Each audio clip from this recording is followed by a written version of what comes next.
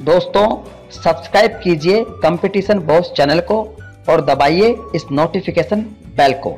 GK Sanskrit और current issues के हर topics हर techniques और हर टिप्स आपको मिलेंगी सबसे पहले। नमस्कार दोस्तों, मैं हूँ नितेश। स्वागत है आपका अपने चैनल कंपटीशन बॉस पर। दोस्तों, आज हम बात करेंगे रूपक साहित्य की। लौकिक साहित्य में रूपक भी एक विधा है। कालिदास से लेकर के भास, और काफ़ी सारे ऐसे कवि हैं जिन्होंने रूपक साहित्य में काफ़ी कुछ लिखा है। और इस पार्ट को बिल्कुल भी इग्नोर नहीं कर सकते, खास करके वो लोग जो किसी भी प्रकार के टेट या रीट की तैयारी कर रहे हैं, और जो नेट या स्लेट की तैयारी कर रहे हैं, क्योंकि साहित्य से काफ़ी कुछ पार्ट जो है रूपक साहित्य में से, इसमें से क्वेश्चन बना करके दिया जाता है। तो दोस्तों, रूपक साहित्य को और इसके कवियों को समझने के लिए चलते हैं। क्लासरूम की तरफ़। भूर्भुवः स्वः तत्सवितुर्वरेण्यं भर्गो देवस्य धीमहि धियो यो न प्रचोदयात्। दोस्तों लौकिक साहित्य में दिख रहे हैं रूपक साहित्य यानी कि नाट्य साहित्य भास। महाकवि भास का व्यक्तित्व और इनके तेरह नाटकों के बारे में बता चुका हूँ। अब उन नाटकों को हम जो है विस्तार से थोड़ा थोड़ा देखेंगे। ठीक है ना? इनका पहला नाटक है प्रतिज्ञा योगेंद्र ठीक है ना? प्रतिज्ञा योगेंद्र रायण ये इनके नाटक का नाम है। ठीक है? इसमें नाम बताया था, इसमें अंकों की संख्या है चार। इसके जो है चार अंक है, इसमें उदयन और वासव दत्ता के प्रेम की कथा है। है ना? उदयन और वासव दत्ता। ठीक है? तो नायक और नायिका यहाँ क्लियर हो गए अपने। उदयन और वासव दत्ता मूलक ये जो है नाटक है। ठीक है ना? इसमें उदयन का मंत्री योगेंद्र है। ठीक है ना? योगेंद्र रायण कौन है? देखो योगन रायण नाटक में हेडिंग में तो इसका नाम है, लेकिन ये क्या है? उदयन का मंत्री है है ना? योगेंद्र रायण कौन है इसमें? उदयन का मंत्री। यही सवाल एक बार थर्ड ग्रेड एग्ज़ाम में पूछा गया है योगेंद्र रायण कौन है? तो योगेंद्र रायण जो है, उदयन का मंत्री है। ठीक है, दूसरा है इसका नाटक, स्वप्न वासव दत्ता स्वप्न वासव दत्ता ठीक है ना? ये भी जो है भास का नाटक है उद्यन मूलक है। इसमें अंकों की संख्या है, छह। ठीक है, ये मैं पिछले वीडियो में बता चुका हूँ, आप इसको देख लेना। ठीक है ना? सबसे बड़ी चीज़, देखो, इसमें स्वप्न है है ना? स्वप्न वासव दत्ता, यानी कि वासव दत्ता और स्वप्न का यहाँ कोई ना कोई ऐसा लिंक है, इसके कारण इसका नाम दिया गया तो यहाँ एक सवाल बन जाता है कि इसमें स्वप्न अंक अंक कौन सा है? छह का नाटक है ना ये? तो इसमें एक अंक है स्वप्न अंक, ठीक है ना? वो कौन सा है? वो इसका पांचवा अंक है। सब अंक कौन सा है इसका? पांचवा अंक। सब अंक कहलाता है। ठीक है? अच्छा दूसरी बात, इसमें एक जगह का नाम आता है आरुणी, है ना? सॉरी ये एक नाम है आरुणी, है ना? ये इसका पात्र है। पात्रों को याद रखो, आरुणी पात्र कहाँ आता है? स्वप्न भाषा दत्ता नामक नाटक में आता है। केवल पात्रों से संबंधित भी सवाल पूछे जाते हैं। फिर उदयन जब, उदयन को जब ये आर्मी हरा देता है युद्ध में तो उदयन क्या होता है? वहाँ से भाग जाता है। तो एक जगह जाता है है ना? उस जगह का नाम है लावाणक ठीक है ना? उस जगह का नाम क्या है? लावाणक आरुणी जब उदयन को हरा देता है तो उदयन जो है लावाणक नामक एक गाँव में जाकर के अपने यहाँ शरण ले लेता है। ठीक है ना? अच्छा। फिर वो बासा दत्ता को कहा छुपाता है? मगध की राजकुमारी होती है पद्मावती। पद्मावती के पास वो क्या करता है? बासव दत्ता को छुपा देता है। पद्मावती कौन है? मगध राजकुमारी है। ठीक है ना? पद्मावती कौन है? मगध राजकुमारी है। ठीक है? अच्छा दुख न्यास रक्षण इसलिए इसमें एक शब्द आया है, दुख न्यास रक्षण ठीक है? वो भी इसमें कहा गया है। तो इसमें नायक कौन है? उदयन और नायिका है वासव दत्ता। और इसका जो प्रधान रस है, वो श्रृंगार है। रीति इसमें वैदर्भी है। हम इसमें अपन और भास के नाटकों के बारे में अपन देखेंगे। ठीक है? फिर है प्रतिमा नाटक। है ना? प्रतिमा नाटक। ये रामायण मूलक है ना? प्रतिमा नाटक। ये बता चुका हूँ कौन सा नाटक, कौन सा मूलक है, पिछले जो वीडियो है, उसमें आप देख लेना, इसमें कुल सात अंक है। ठीक है, अंकों की संख्या है इसमें सात। क्योंकि इसमें क्या होता है कि प्रतिमा ग्रह के ज़िक्र आया है और उसमें दशरथ की प्रतिमा को देखकर पिता की मृत्यु की बात जो है राम को समझ में आ जाती है। फिर है अभिषेक नाटक। ठीक है ना? अभिषेक नाटक। ये भी रामायण से लिया गया है। अभिषेक नाटक में अंकों की संख्या है छह। और ये कहाँ से लिया गया है? रामायण से लिया गया है इसमें राम के राज्याभिषेक की घटना प्रमुख है, इसलिए इसका नाम अभिषेक रखा गया है। तो ये इसकी जो कथा वस्तु है, वो कहाँ से है? बाली के वध से राम के राज्याभिषेक तक, है ना? राम के राज्यभिषेक तक। तो बाली के वध से राम के राज्यभिषेक तक की घटना अभिषेक नाटक में दिखाई गई। इससे पहले की घटना या इससे पहले की रामायण की जो स्टोरी है वो इसमें अभिषेक नामक नाटक में नहीं मिलती है। फिर है उरुभंगम। उरुभंगम। ठीक है? ये नाटक महाभारत का महाभारत मूलक है और लिखा इसको भी जो है महाकवि भास नहीं है। ये एक एक काम की है। देखो, इसके बारे में बहुत सवाल पूछते हैं। कौन सी एक काम की है? कौन सा समकार है? कौन सा डिम है? कौन सा क्या है? यानी विधा के बारे में कई बार सवाल पूछता है। तो उरुभंगम जो है, एक एकांकी है। इसमें भीम ने प्रतिज्ञा पूरी की थी दुर्योधन की जंगा को तोड़कर। सबसे बड़ी बात उरुभंगम का सबसे महत्वपूर्ण क्वेश्चन संस्कृत साहित्य का एकमात्र दुखांत नाटक है ये। बाकी संस्कृत साहित्य का कोई भी नाटक दुखांत नहीं है। ठीक है ना? सबके अंत में अच्छा अच्छा होता है। यही नाटक ऐसा है जहाँ दुर्योधन का वध होता है। तो संस्कृत साहित्य का एकमात्र दुखांत नाटक कौन सा है? उरुभंगम ठीक है ना? ये क्वेश्चन देख लो। संस्कृत साहित्य का एकमात्र दुखांत नाटक। मैंने लिख ही रखा लेकिन मैं बोल रहा हूँ। संस्कृत साहित्य का एकमात्र दुखांत नाटक कौन सा है? वो है उरुभंगम ठीक है? ये महाभारत मूलक नाटक है। ठीक? अब देखो, फिर है दूत वाक्यम है ना? दूत वाक्यम ये नाटक। दूत वाक्यम क्या है? ये कला कौन ये वैसे तो एक अंक की है, इसमें एक ही अंक है। है ना? लेकिन इसकी विधा कौन सी है? इसकी विधा जो है, वो है व्यायोग क्या है इसकी विधा? व्यायोग इसकी विधा है व्यायोग ठीक है? इसमें क्या है दूत वाक्यम में? कि महाभारत के युद्ध को टालने के लिए श्री कृष्ण क्या हुआ? संधि प्रस्ताव लेकर महाभारत अब देखेंगे दूध वाक्यम के बारे में। दूध वाक्यम एकांकी है और एक व्यायोग है है ना? इसमें महाभारत के युद्ध को टालने के लिए भगवान श्री कृष्ण कहा गए? दुर्योधन के दरबार में गए थे दूध के रूप में, कि किसी भी प्रकार से जो हो सके तो युद्ध को टाल दिया जाए, लेकिन कृष्ण ने वो दुर्योधन ने जो है, भगवान श्री कृष्ण की बात नहीं मानी थी। फिर है पंचरात्रम। पंचरात्रम। ठीक है? पंचरात्रम। ये क्या है? समवकार है। ठीक है? पंचरात्रम क्या है? ये समवकार है इसमें अंकों की संख्या है तीन। है ना? इसमें क्या है? गुरु, इसमें दुर्योधन क्या कहता है? यज्ञ में गुरु द्रोणाचार्य ने आधा जो है राज्य मांगा था। ठीक है ना? दुर्योधन के यज्ञ में। ये पांडव को देने के लिए कही थी। किसने? द्रोणाचार्य ने। द्रोणाचार्य ने कहा था कि दुर्योधन, तू पाँच गाँव जो है या अपने राज्य में से वो किसको दे दे?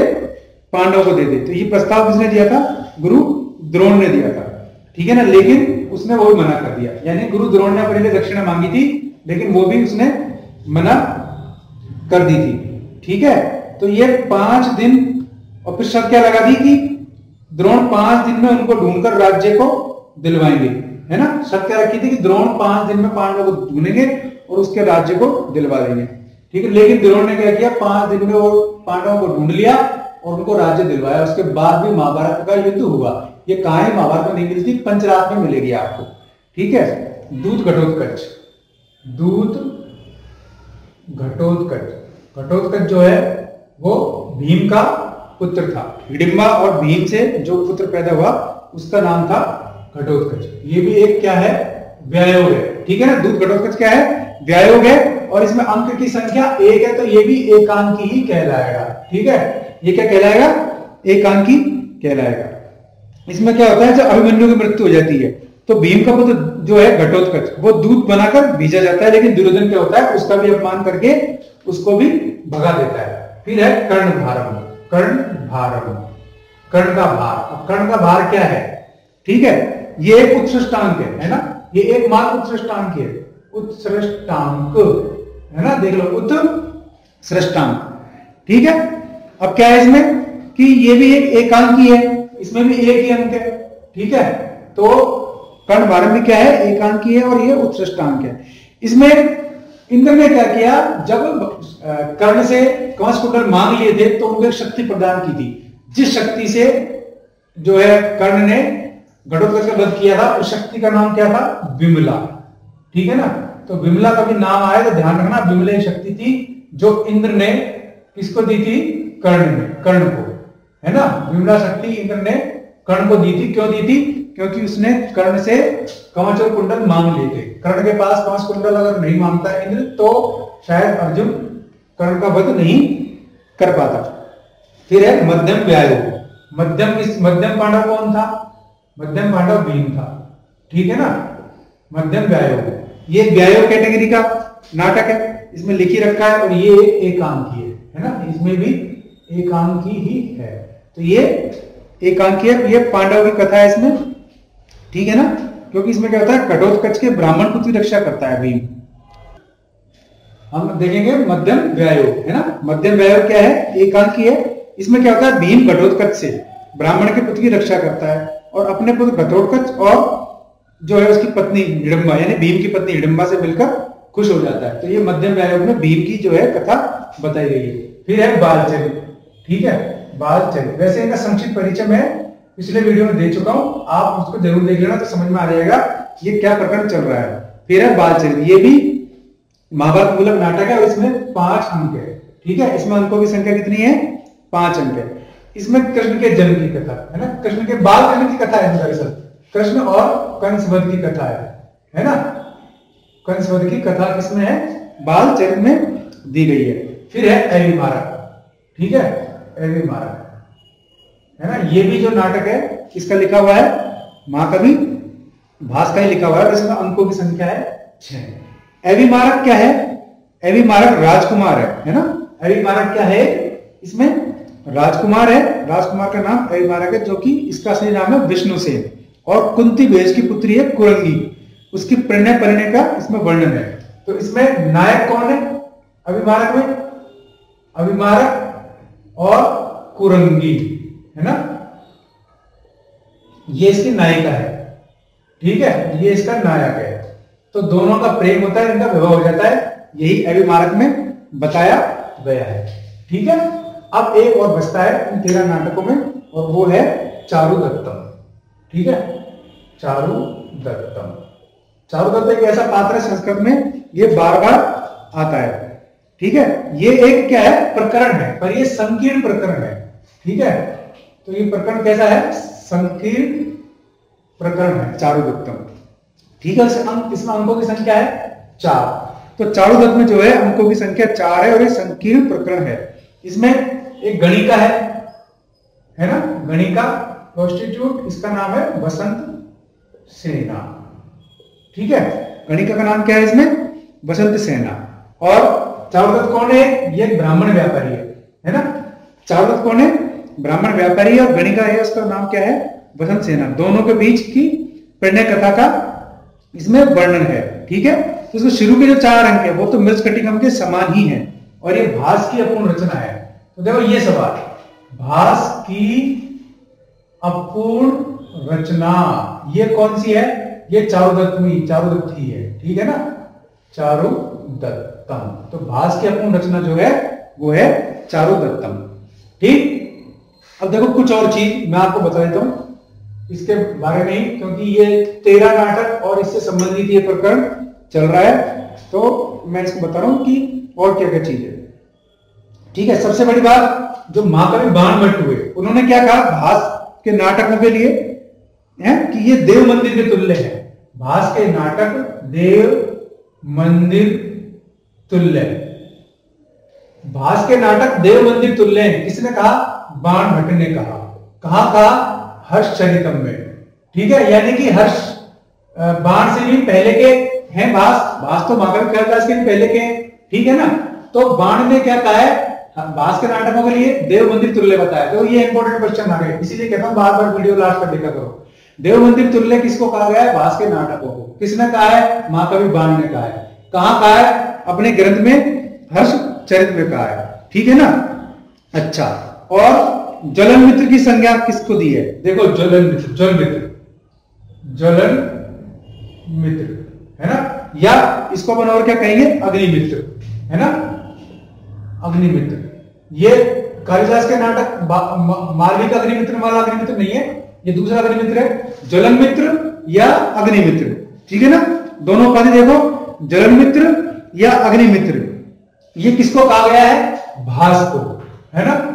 भास को कहा गया है। ज्वलन मित्र या अग्निमित्र किसको कहा गया है? महाकवि भास को कहा गया है, और कहने वाले कौन है? बागपति राज ठीक है ना? बागपति राज और इन्होंने कहा कहा है? किस ग्रंथ में कहा है? गौरवत में कहा है। ठीक है ना? गौड़ वध में कहा है। अब देखो जलन मित्र कौन है या अग्नि मित्र कौन है? माँ का भी भाष है। किसने कहा है? बागपति राज ने कहा है। कहा कहा है? अपने ग्रंथ वध में कहा है। ठीक है ना? अच्छा भाषो हास्य की उक्ति भी प्रसिद्ध है? आपको पता होगा सारा। ये चीज़ तो भाषो हास्य है। है ना? ये उक्ति प्रसिद्ध है। भाष के नाटक में मनोरंजकता बहुत कुछ मिलती है। हंसने के काफ़ी कुछ हंसाता है भाष के जो नाटक है, इसलिए भाषो हास्य भी कहा गया है।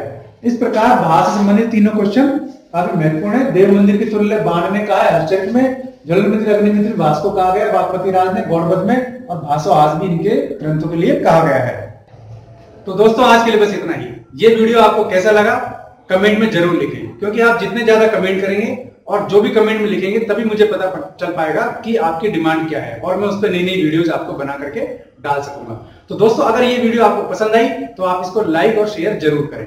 और साथ ही अगर आपने चैनल सब्सक्राइब नहीं किया है, या फिर आप इस चैनल पर नए आए हैं तो सब्सक्राइब ज़रूर करें। और दोस्तों, इसमें एक बेल आइकन है, उसको ज़रूर दबाएँ, क्योंकि उससे जो भी नए वीडियो में बनाऊँगा, वो आप तक बहुत जल्दी पहुंचेगी। तो दोस्तों, ऐसे किसी वीडियो के साथ मैं बहुत ही जल्दी हाजिर होता हूँ। तब तक के लिए नमस्कार।